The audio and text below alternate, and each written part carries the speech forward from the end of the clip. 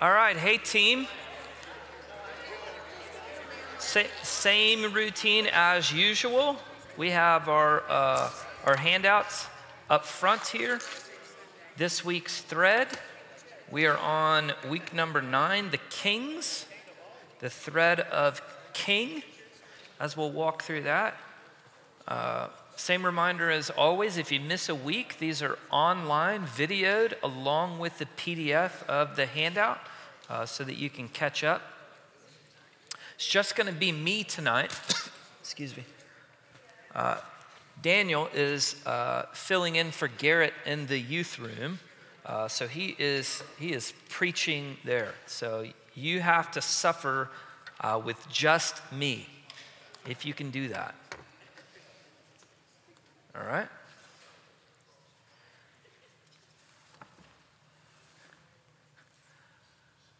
Anyone have any questions before we jump into it? Where'd you get that t-shirt? Oh, yeah. I forgot to mention this. I, was, I wore it because I wanted to mention it during recharge. This is our men's, uh, our men's retreat t shirt for the weekend. So, um, hope to see you. Uh, if you are not signed up and you want to come last minute, I bet that guy right there can make it happen. He's a magician, he can make it happen. Now, we really look forward to our men's retreat weekend and uh, hope that you are signed up. And for real, probably ask him. Maybe he'll tell you no, but he might tell you yes if you can make it this weekend. We're going uh, just, just outside of Austin. We're going just west of Austin. Yeah, I'm talking about you, so quit looking around. Um, so, for, for a great weekend. Uh, Daniel and I are, are leading that. So, we good? Any other questions? All right, G- give me some quick feedback on the, on the threads. Uh, what, what have been some of the weeks that have been most exciting for you? Some of the pieces that, that we've put together that you start, maybe you didn't think of that before, and suddenly you're like, oh my goodness, yeah, look at that. Anyone? Okay, the temple, the idea of the temple, great. Beginning in Eden and the tabernacle, the temple, and then Jesus as the temple, and then us as the temple, and then the ultimate end of the new heaven and new earth as a temple. It's good. Any others? This would be the chance for you to participate.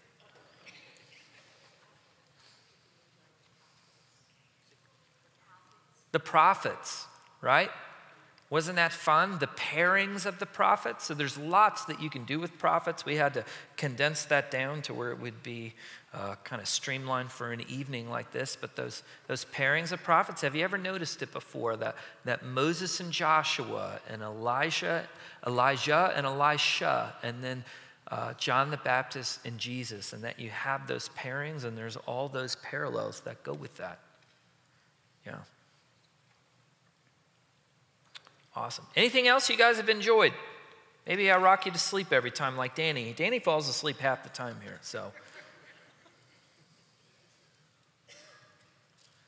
All right. Well, then we'll jump into it, okay? Uh, let's pray, then we'll get started.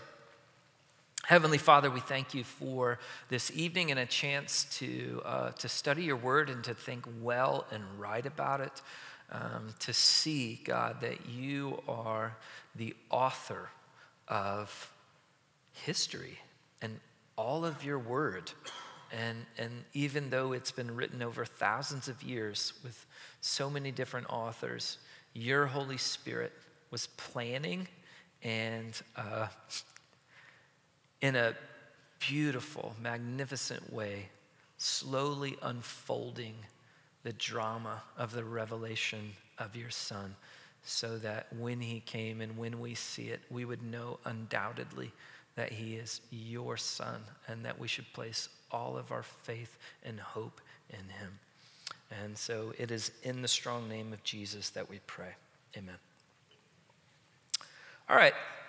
So uh, tonight you have tons of information that I wrote out, but as usual, I, I want you, we're going to go through it fast. Uh, I want you to cognitively pay attention and just understand the overall movement. Um, and you can go back later and, and study much of this, okay? So we're going to begin the story of the king, okay? The king as it's woven through scripture.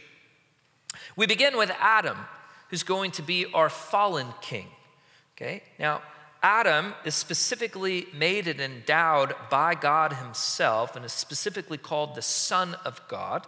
We'll see that thread of the Son of God and the importance of it. You may say, well, Adam is never specifically called a king. Well, because at that point, there's no one else on earth, so there's no one for him to rule over. But he is given the form and function of a king. Look at those four things right there in the middle. He is given dominion, he is supposed to reign over creation. He's made in God's image and likeness, okay? He is uh, implicitly God's son. He's given authority over creation. He's called to name creation, which is a shepherding function. We're going to spend a whole week on shepherd. Um, and he is called to serve and to protect Eden, the garden, right? And his wife. And so all of those are kingly functions. Now, we know that Adam falls short of his kingly duties. Okay, so there's the fall of the king. Now, as you fast forward in the story, God is going to choose for himself a people that he calls his own. This is part of his unfolding plan of redemption. Now, interestingly enough, what we're going to see here in a moment is that God is going to be king over his people. God wants to be king and king alone. And yet, even though we, we're, we're going to see that here, and yet, you will also notice that early on in God's formation of his people, there are promises of a king.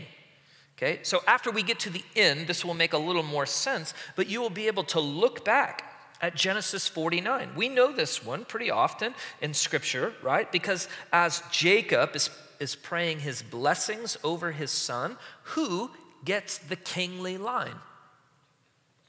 Judah, right? The scepter shall not depart from Judah, nor the ruler's staff from between his feet until Shiloh comes. Now, that word Shiloh means the one to whom it belongs. Okay, the scepter shall not depart from Judah until the one to whom it belongs comes. Okay? So you're, you're going to see that. There's another uh, incredible section um, that's going to be forward looking. Uh, how many of you guys remember the story of Balaam and his donkey? Okay, Balaam was hired by King Elimelech to come and to curse the people of God. Okay, and Balaam's a, a prophet. He's not uh, He's not even a, a, good prophet because he's a prophet by hire who's called to come and curse the people of God. But he gets there and he goes to curse them, and what comes out is blessing. And in the midst of that blessing, listen to what he says in Numbers uh, 24. He says, I see him, but not now. I behold him, but not near. A star shall come forth from Jacob a scepter shall rise from Israel and shall crush through the forehead of Moab. Uh, of Moab. When, when you hear shall crush through the forehead of Moab, what image does that strike for you? Louder, I can't. Not, uh, yeah, yes. Uh, uh, what biblical image do you, huh? Goliath. Okay, Goliath. But Go back to Genesis 3. What's the promise to the serpent? The serpent will do what to the seed of the woman? Bite on the heel. And what is the woman's seed going to do to the serpent? Crush his head. Okay, so you see that right here. Okay, if anyone's going to crush through the forehead of Moab, you're like, oh, that, that should make us think of that seed of the woman. Okay, and then you can see here, one from Jacob will have dominion. Okay, so what I'm showing is, is that you, you can look back early on and you can see that, that there are unfolding promises of a coming king. Now, skip over Moses as king. I'll refer back to that in a second. But Adam fell as the original king, he's fallen. And so God has restored to himself a people. Make no mistake about it, God wants to be king over Israel. Okay? Here's a couple passages where that is specifically stated, right? And, and, they're looking back at who brought them out of the Exodus? Well, it was God, it was Yahweh who did, and He is their king. All right? So, Yahweh wants to be the king of the people, but even early on, Moses predicted hey, as you guys go into the land, this is Deuteronomy 17, you're going to ask for a king. You're going to ask for a king. You're going to say, We want to be like the other nations. Now, when it actually happens in 1 Samuel chapter 8, verse 7, look at the verbiage here. Because God takes it as a rejection of his own kingship. Okay? The Lord said to Samuel, Listen to the voice of the people. Samuel was, was hurt because he said, They have rejected me. And God said, Look, they haven't rejected you. Okay? For they have not rejected you, but they have rejected me from being king over them. And you can see it's repeated there again in uh, 1 Samuel chapter 12. Now, let's pause and think about this for a second. Why is it that Israel wants a king? Everyone else has one, all right? So they want to be like the nations. They're going to state that specifically. But also, as you press and you work through it, there's this important factor. They wanted someone that they could see, they wanted a singular representative that they could see. Do you remember when Moses went up on Mount Sinai? They liked Moses, who led them out, and then he went up on Mount Sinai. And what happened? Well, after 40 days of him not returning, what did the people do? Yeah, they ask for a new God. They know, uh, they call him, they call the golden calf Yahweh. Okay, they're trying to make something that they can see. They say, Well, I don't know what happened to Moses. I don't know where that guy went, but we need someone that we can see. And so they form this golden calf and they say, There's your God who led you out of Egypt. Now we look at that and we think that's absolutely ridiculous because you just made it. How could that have been the God that led you out? They want some, someone to see, okay? They want this singular representative that they can see that goes before them. All right, so they say, we, we want to be just like all the other nations. We want a king that will go out, okay, and may judge us and go out before us and fight our battles. So God allows them to have a king. Now, we know where this is ultimately going, okay? Saul is the first king of Israel. Now, what do you remember about King Saul?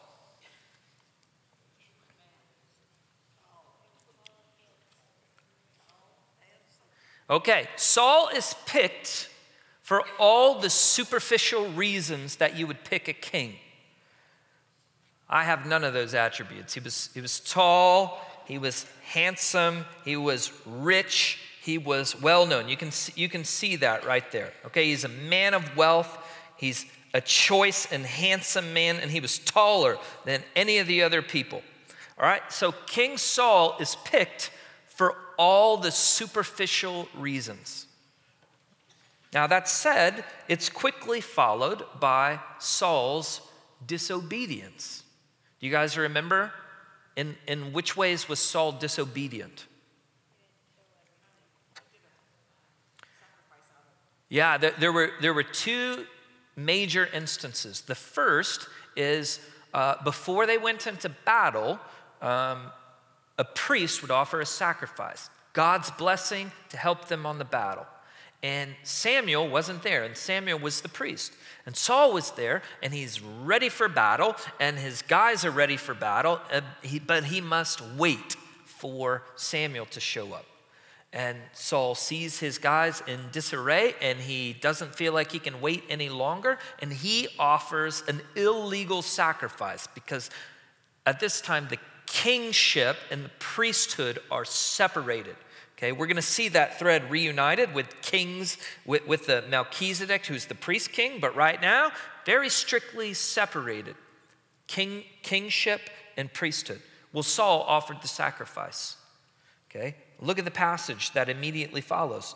Samuel, so then Samuel shows up on the horizon, comes up and says, You have acted foolishly. You have not kept the commandment of the Lord your God, which he commanded you.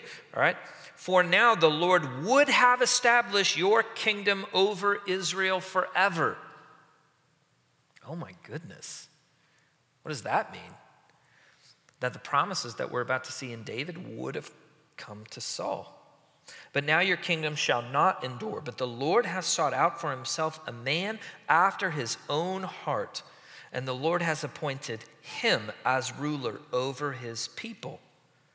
Okay? So we are going to see the kingdom ripped from Saul and given to another this forever kingdom, this promise that we're going to see unfolding, is given to another. Now, check this out because you may be wondering why is it? Did you know who picked Saul as king? Anyone know? God did. Did you know that? They did it by casting lots, but God did it. God's the one who picked the superficial king and then he was disobedient and he kicked him out. Why? Well, there is this pattern. We've been looking at patterns, right? That's what we're doing. There is this pattern of the second. We talked about this uh, a little before. Think about it like this Moses died when entering the promised land. He led them out of Egypt, but Moses died, and Joshua, the second one, Yeshua, is the one who led God's people into the promised land. The second one did. The first failed, the second entered. This pattern actually began with Terah, Abraham's father, who died en route to the promised land. If you go back and read Genesis 11, beginning in verse 31, do you know who was actually in the land of Ur and got, got up and began to lead his family out of Ur? It was Terah. It wasn't Abraham. It, it literally says Terah got up and began to lead his family to the land of Canaan.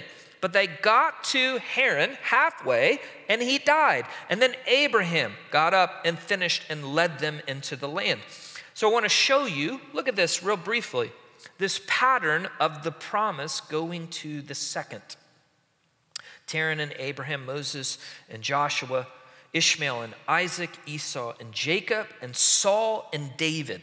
Now, Galatians 4, if you go back and read this, Galatians 4 21 through 31, you will actually see an extended argument that Paul makes about this pattern and the, the, the way that the first covenant, the Mosaic covenant, was doomed to fail because it needed to be replaced by the second, the greater covenant.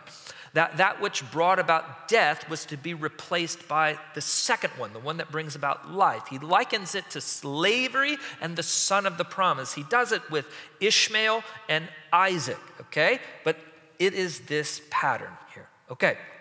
Now, with that said, you can shake all the cobwebs out because we're about to enter into uh, the most important section uh, in understanding the kings, and we're going to look through two very important passages revolving around David.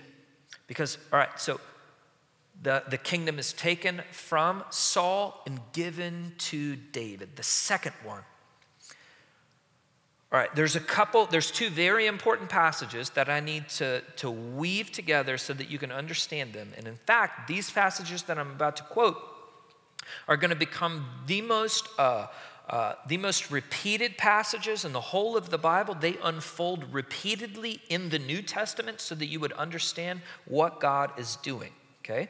First, let me trace for you the line of the Son of God. We've done this a couple times. It was back several weeks ago um, when we did Adam. Okay? But this title, Son of God,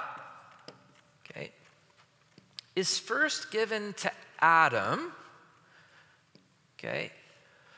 Um, and in some sense or fashion, all of us, because we're made in the image of God, we, we might take on that title uh, also as being descendants of Adam. But then God creates, uh, uh, I can't write and talk at the same time.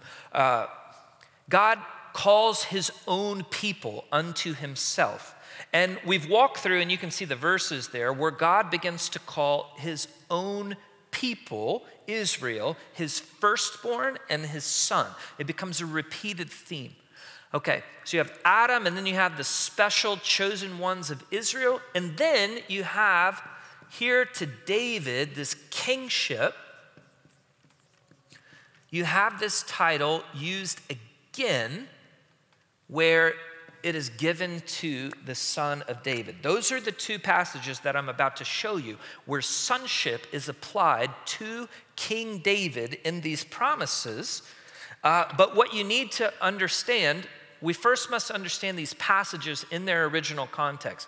But what I want to show you with this growing pattern here is that Israel, uh, so all that are in Adam are, in one sense, a son of God. But then Israel's the special chosen section called out as son of God. But then the king over Israel holds this special, unique, special, special purpose as that selective son of God. That's how the elevation of this title works. Okay? Here's where the promises come. First, let's begin in 2 Samuel chapter 7. Okay, real quickly, the context here is you remember David, after he's moved the, uh, uh, his capital to Jerusalem, he's settled in the land, he has peace from all of his enemies, and he's kind of sitting down, and he, he makes the statement I have such a nice house of cedar, and God's in this tent. He's, he's moved the tabernacle, and he says, I want to build God a house. Okay? It's to that. He tells Nathan, Nathan says, That's a great idea. Um, and then Nathan leaves, and that night the Lord comes and speaks to Nathan and says, No, no, no, you go back and you tell David something. Okay? This is the promise that comes back from Nathan. Okay? The Lord has declared to you, okay, that the Lord will make a house for you. David, you wanted to build God a house? No, no, no, no. God's going to build a house for you. Now, that's a play there on the term house that's going to talk about dynasty or descendants. Okay? Well, let's read this. When your days are complete and you lie down with your fathers, I will raise up your descendant after you, who will come forth from you, and I will establish his kingdom. He shall build a house for my name, and I will establish the throne of his kingdom forever. I will be a father to him, and he will be a son to me. There's that language. He will be a son to me. That's this key sonship. Very special. Okay? Where did I go? Now, catch this in verse 14. Now, when he commits iniquity, I will correct him with the rod of men and with the strokes of the sons of men.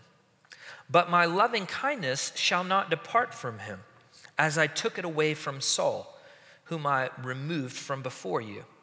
Your house and your kingdom shall endure before me forever. Your throne shall be established forever. All right, now when you read that passage in Old Testament context, you have to put it in its Old Testament context and understand it first. And the first way that you should read that passage and understand it is that it's pertaining to King Solomon. Okay? King Solomon is going to build God a house. What's that called? The temple. Okay? And the other reason that you must immediately think of Solomon is because it says, when he commits iniquity. Okay? In other words, Christian, you can't immediately jump to Jesus because if this is all about Jesus, we've got major problems in our theology, don't we? Because if Jesus committed any iniquity, the whole thing falls apart. Okay? So, you are to understand this as Solomon.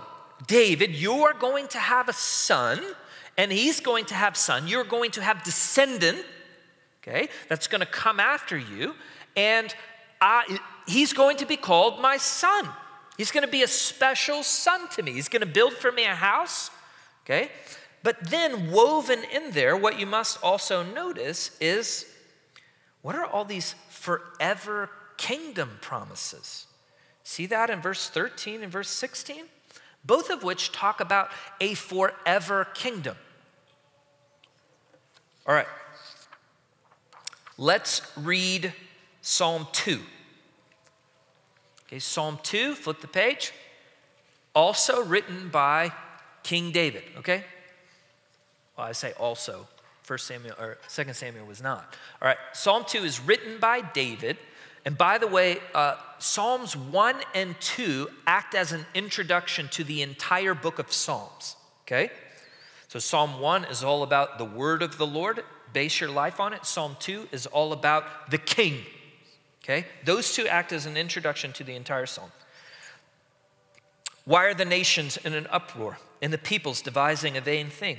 The kings of the earth, they take their stand, and the rulers take their, their counsel together against the Lord and against his anointed. Okay, pause right there. That word anointed, uh, look over to the side. In Hebrew, it's the word uh, Messiah.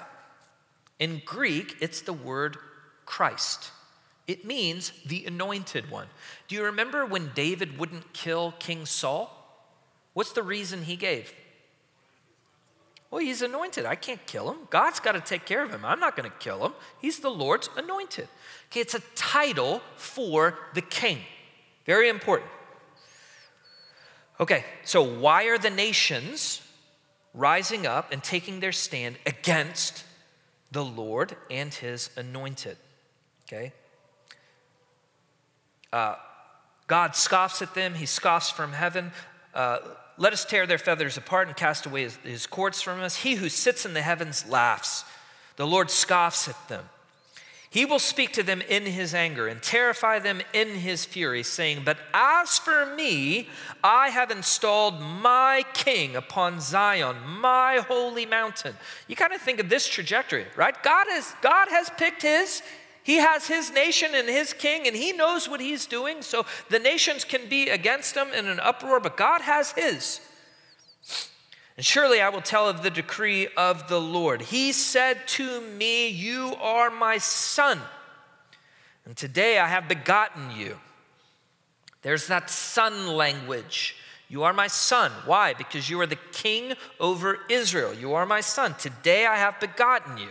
Okay? It's, it's that now that this day has come, now that you have been coronated, now that you have been crowned, now you are king and you are the son of God. So ask of me, and I will surely give the nations as your inheritance, and the very ends of the earth as your possession. You shall break them with a rod of iron, and you shall shatter them like earthenware. Skip down to the end. Kiss the Son, that he may not become angry and you perish in the way, for his wrath may soon be kindled. How blessed are those who take refuge in him. All right, so if you put those two passages together, okay, you would say, well, the Davidic king has a special, unique role. Under God's kingship, he has become a royal son, right? Today I have begotten you. But you also must notice, again, the promises, they escalate, they are ever increasing. The nations as your inheritance to the very ends of the earth, and all must bow down and kiss the Son. Now, given these promises, understanding them in an original context, how would you imagine that David or the rest of Israel interpreted these promises? Well, the pretty natural thinking is that we have a kingdom, we have a king, and we are going to have an endless succession of Davidic kings, right? And our kingdom cannot be destroyed because we will always have Davidites on the throne because God has given his promise. He will not turn away from him the way that he did to Saul. All right, with that set, okay? We're, we're going we're gonna see the way that these promises unfold. But with that set, David and Solomon, as you understand your Old Testament, they constitute what we call the golden years, the golden reign. But even as you go through that, you realize for as great as this period is, there's always something wrong, right? So, I've given you a couple passages here where you can see that David had peace and prosperity, and the Lord gave him rest from all of his enemies. And you can read chapters stacked together of David's triumph. But then what happens? This overt, gross sin with Bathsheba and murdering Uriah. And then God unleashes a curse upon his family, upon his descendants. And then Solomon comes and he takes the throne. And he is said to received the peace of his father David, and he has prosperity. And you can read about, look, look at verse uh, 1 Kings 8 56, right? Blessed be the Lord has given rest to his people Israel according to all that he promised. Not one word has failed from all of his good promises, which he promised through Moses the servant, right? So th- this is like the, you know, the blessings and the curses section of like Leviticus 26, like when you get in the land. And here's this, this section, this short little period where you see, oh man, they've, they've achieved it. They've got uh, peace and they've got prosperity, and this is great. But simultaneously woven in there, you know what you find out even with Solomon?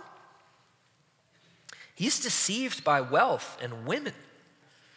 He was actually specifically told not to multiply horses and wives. This is Moses' command way back in Deuteronomy 17. He says, Look, when you enter the land and when you ask for the king, even though I don't want you to have a king, but when you ask for a king and when he comes, he shall not multiply horses for himself. He shall not multiply wives, nor shall he greatly increase silver and gold for himself. Uh oh. Because I've given you just a couple passages. I mean, the most ridiculous passage, maybe in the whole of Scripture, is that Solomon had 700 wives and princesses and 300 concubines. I can't think of anything more absurd in my entire life. One wife is more than enough for me. This guy had a thousand. So you already notice hey, even though there's the promises unfolding, there are kinks in the armor, even in the golden years. And what happens immediately after Solomon? Everything falls apart. Rehoboam's the king, the kingdom splits, and then you have an endless succession in the northern kingdom of nothing but bad kings. They don't have even one good king. And in David's line in Judah, and just the Judah and Benjamin, the only two that of what's going to be called Judah, uh, you just have this alternating good king, bad king, bad king, bad king, good king, good king, bad king, bad king, bad king, until it just gets worse and worse and worse, and they go off into exile. Now, as that unfolds, you know what rises up? The prophets begin to speak more and more clear about this coming king. Okay? The prophets begin to unfold. Hey, you, you saw David, and he, he looked kind of good, but there were some kinks that you obviously saw. And you saw Solomon, and you saw some of his flaws. And then as the kings get worse, you start to hear the prophets come stronger and stronger and stronger with listen, there's coming one who is a king. And so look at these. Look at some of these. We, we read a lot of this in, at Christmas time, right? Isaiah 9. By the way, Isaiah 9 is 700 years before Jesus, and it's 200 years before the exile. Okay? So it's just in a string of bad kings, and suddenly Isaiah, by the way, we looked at Isaiah a lot a couple weeks ago when we talked about the Exodus, because Isaiah has this theme. There is a new Exodus coming, because you're going to go off into exile, and we're going to come back and then here. For a child will be born to us, a son will be given, and the government will rest upon his shoulders. And his name will be called Wonderful Counselor, mighty God, eternal Father, Prince of Peace. And there will be no end to the increase of his government or of peace. And on the throne of David and over his kingdom. Oh, wait a second. That's a pretty bold and grandiose promise. While we look up to the throne and we realize we got a bunch of rotten kings around here. Oh, but there's coming one. Okay? And you see it again later. Then a shoot will spring from the stem of Jesse. Now, Jesse is who? David's father. So, this is a poetic way of saying, hey, this is the Davidic line. Okay? And a branch from the roots will bear. And then you go through Isaiah 11 and you can see it's talking about a spirit filled leader, and it specifically mentions the root of Jesse. And then the prophet Ezekiel. It's an incredible passage. You can, you can look up here real quick. So, the prophet Ezekiel, uh, the first 33 chapters of Ezekiel is, by, by the way, Ezekiel has been exiled. Okay, so he's in the, the second wave of the exile. There are three waves of exile. Okay, so Babylon has already come in and conquered Israel, but Jerusalem hasn't fallen, the temple hasn't fallen. And Ezekiel's carried off into exile, and he spends the first 33 chapters saying, guys, guess what? Israel's gonna fall, Jerusalem's gonna fall, the temple's going to be destroyed. Okay? And then in, in chapter 33, it finally happens. Okay? So when you read Ezekiel, first 33 chapters are nothing but judgment. You're like, judgment is coming, judgment is coming, judgment is coming. Okay? And you're like, give us a different song. But there's not a different song, it's judgment is coming. But then once the temple falls, immediately you get hope. They didn't think the temple could fall. Why didn't they think the temple could fall? Well, it's God's house. How could, like, it doesn't matter how bad we are, God's house can't fall. We know what happened at the very beginning of Ezekiel? The Shekinah glory of the Lord left the temple. That was the first vision that Ezekiel had. He's like, he's gone. It's going to fall, okay? And, and it's all tied to these Davidic promises, right? They're like, look, God gave promises to David and to the temple. There's no way this thing's fallen. As bad as we get, it's not fallen. It falls. Immediately after it falls, Ezekiel 34, one of the awesome passages in the whole of Scripture, God is lamenting the leaders that have been in Israel. And he calls them my shepherds. He says, You know what all these shepherds are doing? They're eating the sheep. They don't care about the sheep at all. They're not leading my sheep, they're eating the sheep. They only care about themselves. They're sacrificing the sheep for themselves. And then he goes into this incredible rant, this incredible, like, sermon that's poetic and powerful. And God starts to say, You know what I'm going to do? I'm going to come down there and I'm going to feed my sheep and I'm going to nurse them back to health and I'm going to find the ones that have wandered away and I'm going to shepherd them and I'm going to gather them. And I'm going to and I'm going to and I'm going to and I like 21 times in this entire section she says I will I will I will. And then this section ends with and I'm going to send my servant David God's coming, God's coming, God's coming. I'm going to send my servant David. An incredible passage. Then I will set over them one shepherd, my servant David, and he will feed them, and, uh, and he will feed them himself, and he will be their shepherd. And I, the Lord, will be their God, and my servant David will be their prince. And, and you know that, that initial language where God was the king, and, and then the, the, the king was supposed to to be the prince underneath that. He says, I'm going to send my servant David and we're going to restore that. I'm going to be king. He's going to be my prince. And so as this unfolds, you begin to see the prophets begin to be clearer and clearer as the kings are terrible, the line of kings are terrible, that there is coming a king. Okay, Psalm 89.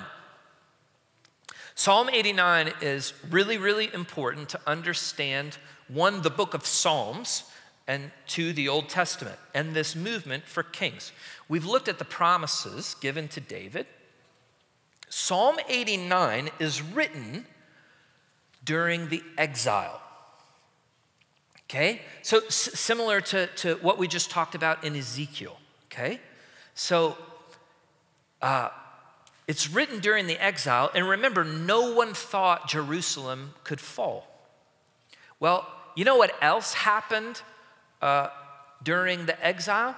That is, all the Davidic line of kings were killed. In fact, the last Davidic king was taken and, and uh, carried off the throne, okay? Uh, he's captured. He has to watch his son slaughtered in front of him, and then his eyes are gouged out. So the very last thing that he saw was his son's being slaughtered. And then he's held in captivity until he dies. Okay? Very gory, graphic, fun stories of the Bible. Read that to your children tonight. Okay, so the Davidic king is gone, and they're in exile, and uh, Jerusalem has fallen. So Psalm 89 is written during that time, and this is what the psalm sounds like. It begins with God, you are on your throne. And God, you have given promises to your servant David.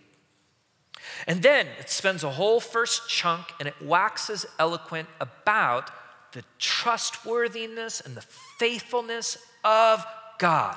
God is on his throne. He is always on his throne. He's always in control. Then it gets to the section All right, God, you're on your throne, and you gave promises to King David.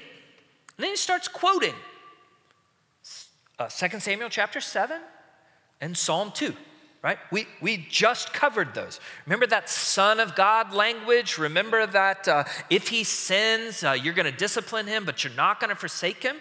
Okay? The psalmist goes through, combs through the very same passages I've read to you and quotes them back to God. God, you are on your throne, you're in control. By the way, you gave these promises to David, and here they are.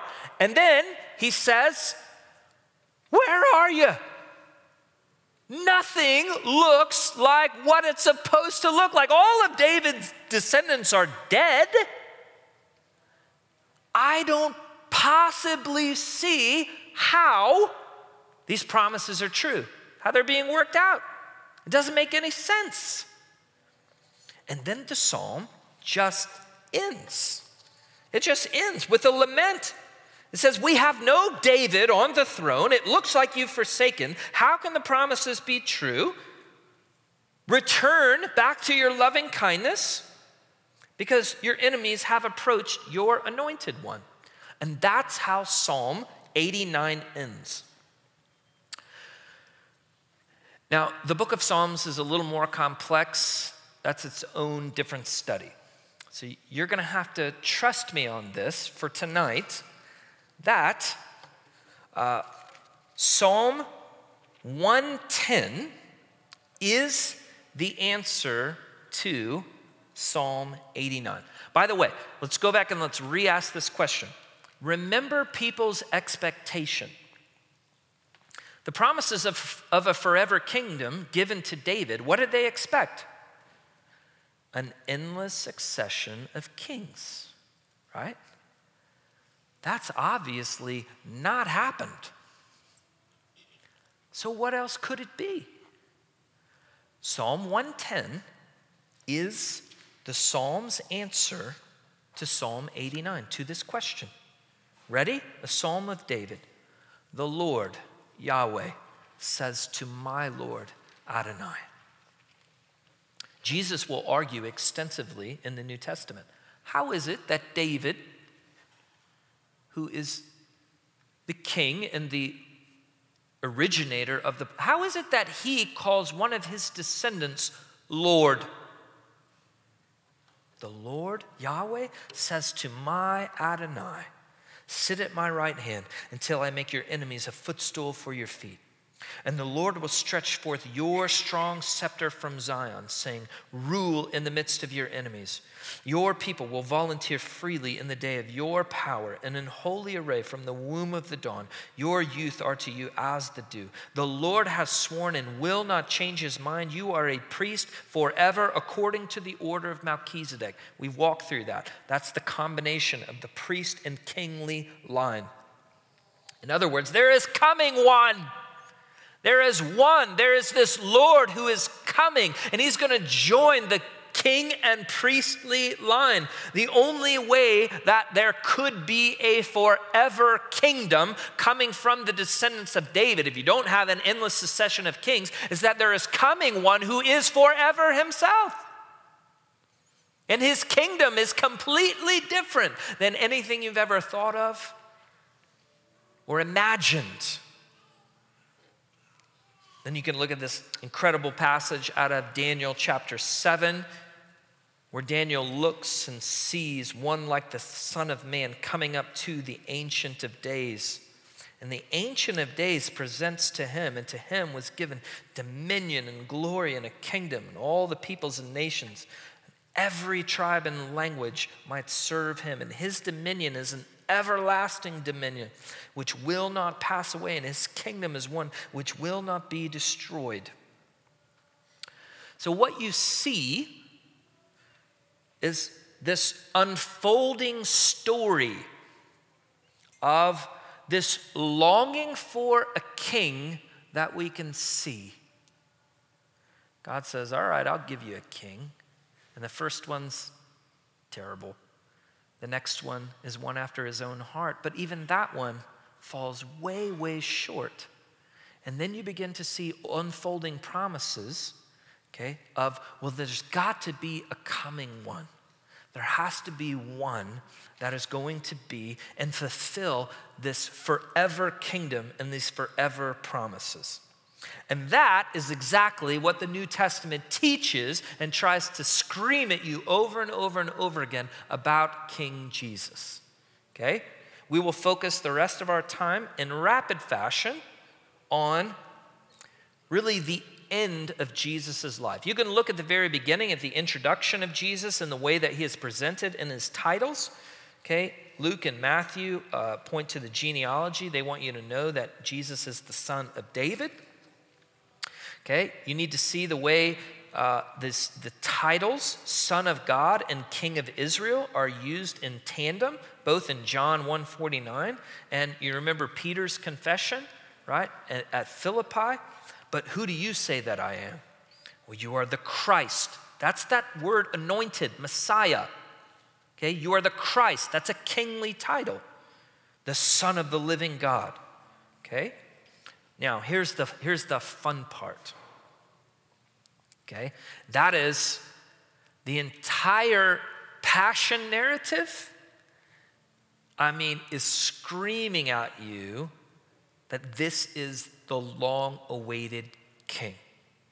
Okay? The triumphal entry. There are a few details that are woven in there that you and I don't naturally pick up on unless we're really good Old Testament readers. So, did you know that when King David picked Solomon to be his heir, do you know how he showed that to all of Jerusalem? Solomon got on David's donkey and rode around Jerusalem. Okay? It, it would be later kings that ride a horse, okay? Not David. David rode a donkey and put Solomon on him and said, This is my king, this is my son, my heir, and he rode him around Jerusalem. You can read about that in 1 Kings chapter 133. Did you also know that in ancient Near East culture, in coronation for a king, they would take off their garment and place it underneath on the path as the king is, and, and, you can see this here in 2 Kings 9. When King Jehu, they're taking off their garments and laying them in front. Well, guess what? Those are the exact things, same things that happen as Jesus' triumphal entry into Jerusalem. Two things that you and I don't naturally pick up on, but are woven in Scripture as the triumphal entry, and there's the presentation of the king. And just in case you miss it, Zechariah 9 9 is really straightforward. Rejoice greatly, O daughter of Zion. Shout in triumph, O daughter of Jerusalem. Behold, your king is coming to you. Uh, he is just and endowed with salvation, humble and mounted on a donkey, even a colt, the foal of a donkey which, by the way, Matthew quotes just in case you don't miss it. Why? Because the king is being presented. On his way in, the crowd shouts and quotes Psalm 118. And in the Gospel of Luke, he inserts, so I guess the crowd did, instead of blessed is he who comes in the name of the Lord, in the Gospel of Luke, it says, Blessed is the King who comes in the name of the Lord. Furthermore, Jesus' trial, you've heard me say this before, so it's not going to be that revolutionary, but most people don't really piece together why was Jesus killed? Jesus was killed flat out for being the king, for claiming to be the king and that's the entire art. They could not get any charge to stick. And so the, the high priest says, Well, tell us plainly, are you the Christ, the Son of God? Okay? What does he reply? He says, You have said it yourself. Nevertheless, I tell you, hereafter you will see the Son of Man sitting at the right hand of power and coming on the clouds of heaven. Now, I just read for you Daniel chapter 7. That's what he's quoting. Okay? You see how we're piecing the same scripture passages together? All of this in the kingly thread. That's exactly what Jesus says to them. You've said it that I am the Christ, the Son of God, and I will come riding on the clouds. Okay? And they tear their robes, they blaspheme, and they say he deserves death. Why? What are the charges? Okay? Then he goes before Pilate. What's the question? Are you the king of the Jews? The crowd, got, the, the high priest, get Pilate to take the case because they said he is claiming to be the king. But Caesar's king. This is an insurrection. This is a, this is a rising up. He says he's king. We've heard it out of his own mouth. And so that's what the charges are. So, what did they do? They mock him as king. They throw a purple robe and a crown of thorns and put a reed in his hand and mock him and say, Hail, King of the Jews. And then here it is above his head, they put the charge against him. What are the charges? This is Jesus, King of the Jews. All the mocking. He said he was king. Well, why doesn't he come down? If he trusts God, let God rescue him. If he delights in him, for he said, I am the Son of God.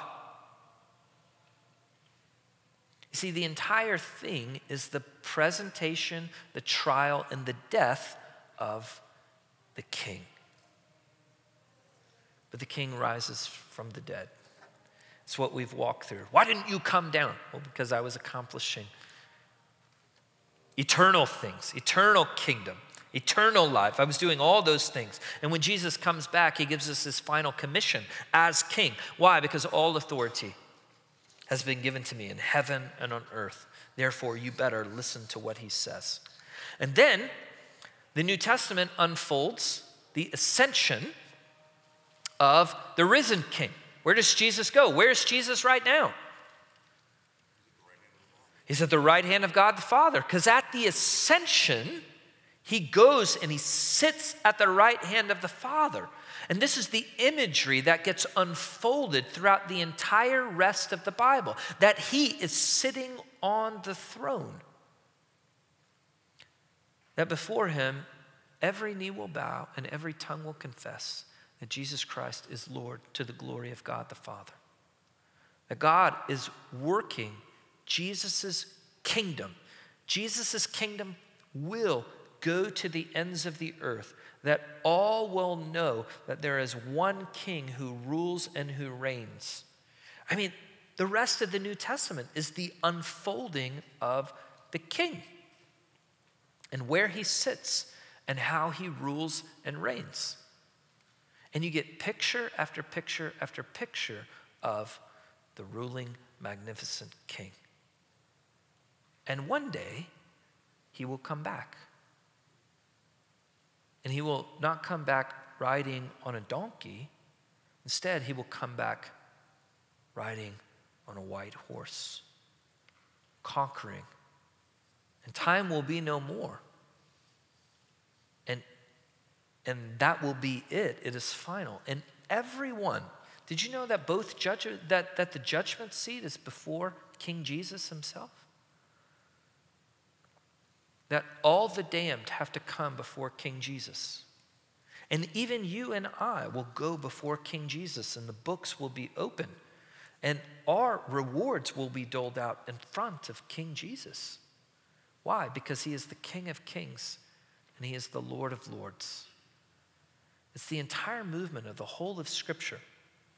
There's another super cool thread that I'll tease you with. So I'm really, really, really excited about next week. Okay? Next week is my most favorite thing because it's on uh, the righteous sufferer. But there's this really cool thread um, where, and it involves the kings, that's why I'm telling you now. There's, there's three times in Scripture that I know off off top of my head where the king wants to give all authority to the number two who sits at his right hand. Okay? We're, we're going to cover it next week underneath the righteous sufferer. But one of those instances is Pharaoh and Joseph. Remember all the end of Genesis?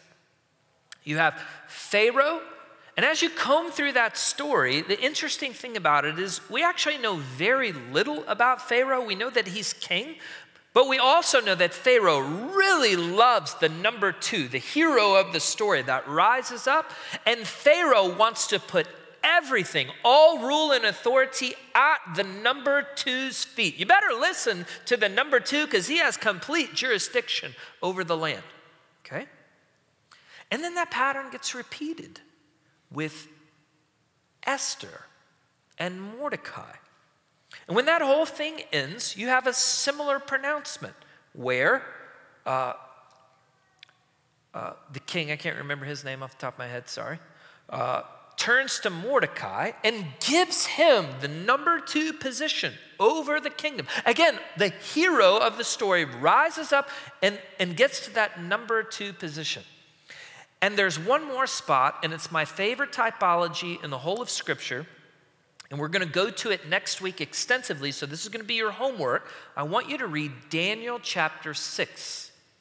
Because in Daniel chapter 6, it's another typology like this that happens where King, King Darius, has these leaders, and there's one that rises up amongst them, Daniel. And by the end of that story, the king wants to give all dominion and authority and praise and recognition to Daniel, right? Everyone needs to know Daniel's a super awesome number two. He's the guy. Okay? And what's fascinating about that pattern is that's also the pattern for all of eternity. This movement where God says to his son, Sit at my right hand until I make your enemies a footstool. I'm going to fight for you, and I'm going to make sure everyone comes and bows down before you. The whole world must know about you. You see, woven in these patterns and these stories are patterns that are pointing towards this coming number two, the hero the king that we have longed for because he's a king that we can see and we can touch and we can feel and we can know and we're going to know him all into eternity. And he's what our soul longs for. He is the king that we have wanted. And it says at the end of time, everything will be placed before King Jesus. And then King Jesus will turn it all back over to the Father, and eternity will begin. All right, that's most of our time. I, I probably got time for five minutes worth of questions. Yes, ma'am. Do we know when the Ark of the Covenant left the temple? Yeah, great question. Uh, I don't off the top of my head. If you couldn't hear, the question was when did the Ark of the Covenant leave the temple?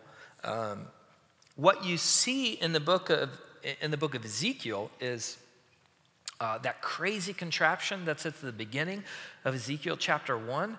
It's very much like the Ark of the Covenant, except it's, it's mobile okay? It's on it's on those wheels that go every which way. Um, and, and that's supposed to signify to you. That's that's god's mobile throne.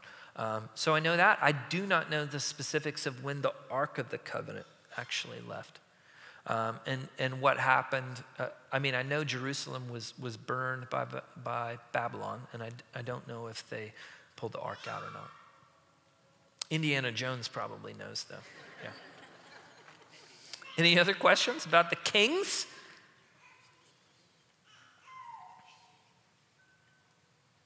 Does this make sense? These unfolding promises, right? You, you have to see them in their original context, but then you have to see how, how there's all this confusion, expectation. Why isn't it that there isn't a, a, a David on the throne? Because there's a coming one. And it's even why in the New Testament, right? They, they imagined that Jesus was just going to take back over, throw over the Romans, give them their nation back, and, and go right back to being just the David on the throne. They, they did not know or expect that, that he was going to rule and reign from heaven and that his kingdom is a different kingdom. Okay?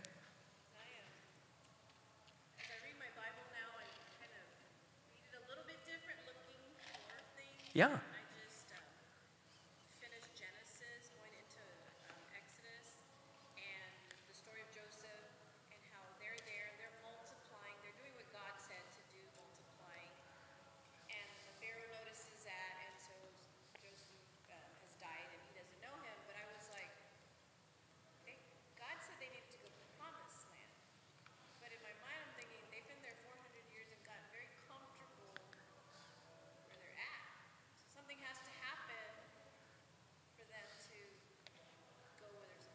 Yeah, yeah, that's good. Yeah, and that's that's the whole purpose of this, right?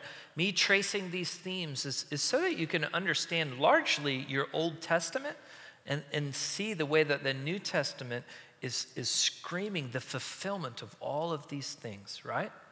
And for you to understand, right, that woven throughout history promises of God and people that held on to the promises of God, but they didn't quite know how they were going to work out, right? And, and even Psalm 89, Psalm 89 is one of my favorite, right? Because you read it and the psalmist is confused, right? He's like, God, I understand your promises. I just don't see how what's happening here is going to work out, right? I don't see how your promises could possibly be true if you're looking at what I'm looking at, right? But we, what we can look back and what do we say? Right? What, how would you speak to that psalmist? You would say, hold on. The promises are greater than what you could ever imagine. He's not just talking about fixing the king or your nation. He's talking about bringing an eternal kingdom, overcoming death, ruling from heaven. There's coming an eternal king. It's greater than what you could ever imagine. Hold on. So it should give us such a confidence, such a hope that God's unfolding plans. And don't you love the uh, the drama of God, the, the, the way, the poetic nature in which he writes with this, with, with his, like he doesn't come out and in scene one, all right, here's what's gonna happen. Right? No, no, no. God, God's dramatic. He, he writes like a mystery novel, if you will, right? It's, it's been unfolding in bits and pieces throughout history. That's the way God reveals himself to us. Okay? But once you finally see the real deal and then you look back, you're suddenly able to go, He's everywhere. He's in the prophets, He's in the kings, He's in the temple, He's in the on and on and on. He's the new Exodus, He's everything. And, and it gives you so much confidence and assurance. My goodness, this God has been authoring all of this stuff, and all of it points to one direction, and it's all through King Jesus, and it's all for our salvation, and it gives us our story as we move forward so we can have confidence and assurance, right, that He is true, that He has saved me, and that He's going to keep His promises all the way until the end. And so it, when you can look back and you can see other people confused and go, but God's promises were so much greater than what you could ever imagine, then it gives you confidence moving forward. It goes, you know what? I may not have it all together, but I know who does. Amen? All right, let's pray. Our Heavenly Father, we thank you for your word, for your goodness and your kindness to us, and allowing us to see, God, that we sit this side of the cross in your word and we can see your fulfillment and all that you have done so that we might know you, God. Give us faith. Help us to walk faithful in courage and in your spirit. We love you in Jesus' name.